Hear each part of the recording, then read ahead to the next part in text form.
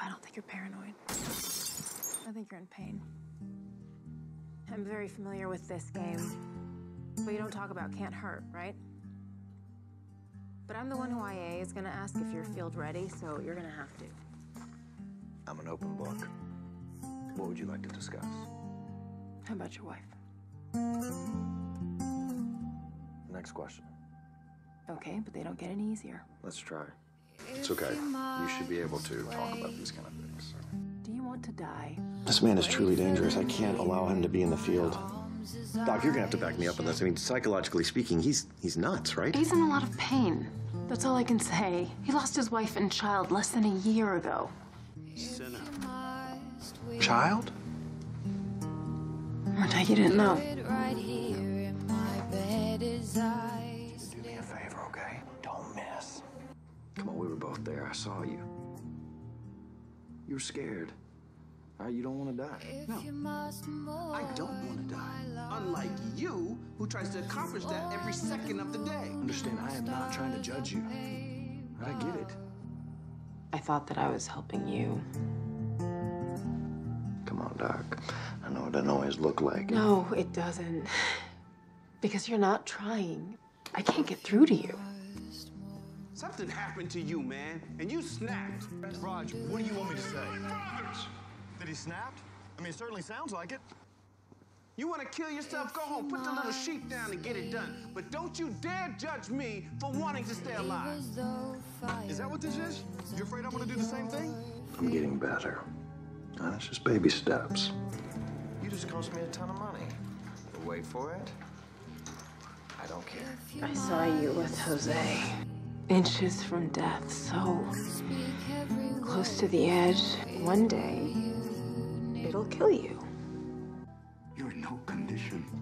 The law. Do you have any idea how bad that could have gone? It will Kill you. Hey, look, I know how hard this can be. Friend. Riggs, I need you to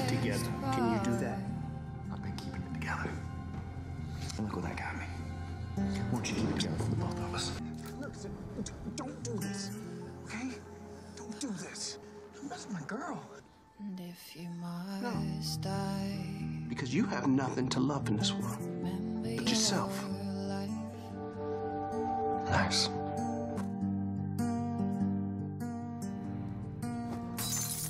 Remember, I put you two together so that you could lift Riggs up, not so that he would bring me down. Hey, look, if you're gonna get reamed out, least I could do is come with you. I mean, you took a cattle prod from me today. I did lose my truck. You know, I never got so blackout drunk that I forget where I left it. Why, Riggs? That's what I need to know. Why? If you go and kill Flores in cold blood, what's left for you? You are so damn angry, and you are too terrified to find out why. What's left for me now? Around Doc, everybody's angry. You know, you told me once you would not kill yourself because she would be ashamed of you. That's exactly what you're doing. You're drowning. Okay, and you gotta figure out once and for all, do you wanna live? You wanna be a drunk? You be a drunk. So you're done, huh? No more being a cop. You're a good cop. What about your partner? He followed you to Mexico to save your life. We are your family. You know that. You're part of this family. Well, I didn't ask for his help, so that's on him. You didn't have to. That's what it means to care about someone.